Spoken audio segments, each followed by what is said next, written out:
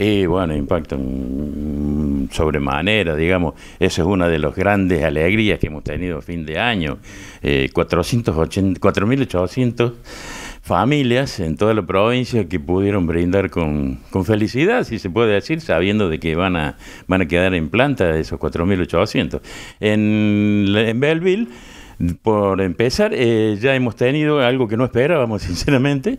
Hemos tenido el nombramiento, eh, tenemos el decreto de nombramiento de siete, eh, siete contratados que, que, habían, es decir, siete agentes que habían rendido el concurso en 2015, que estábamos, estábamos peleando y penando para que efectivamente los nombraran.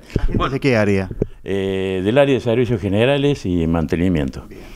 Eh, son siete agentes que ya tienen el decreto de, de, donde se los pasa a planta y eh, aparte eh, tenemos que esperar que sienten las bases para los concursos para que pasen a planta los, los 4.800 en la provincia, que acá en Belleville no tengo un estimado de cuántos son, pero que son bastantes.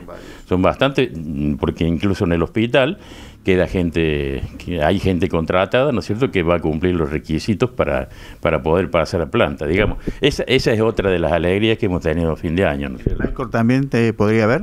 Sí, sí, sí, sí, sí, en el PICOR eh, queda en este momento una, una persona, un agente contratado que está en condiciones de, de pasar a planta también de acuerdo a, a los requisitos, que son cinco años o más, y si en caso que no se cubra con las con los que están en esa situación que tienen cinco años más, se van a cubrir con los que, los que no lleguen o estén más cerca, ¿no es cierto?